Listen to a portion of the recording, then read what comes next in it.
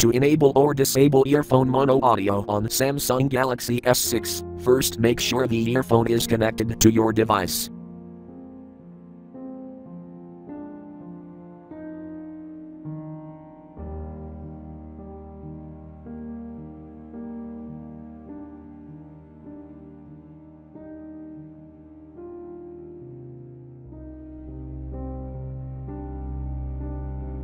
Swipe from the top of the screen to the bottom to open the notification panel.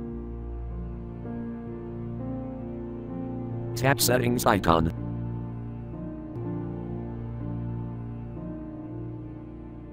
Scroll down.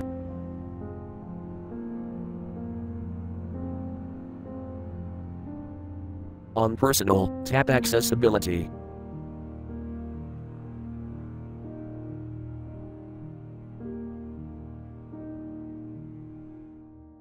Tap Hearing.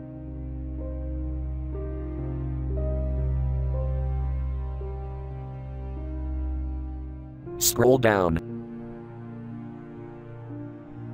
Tap mono audio switch until green to enable, or tap until gray to disable.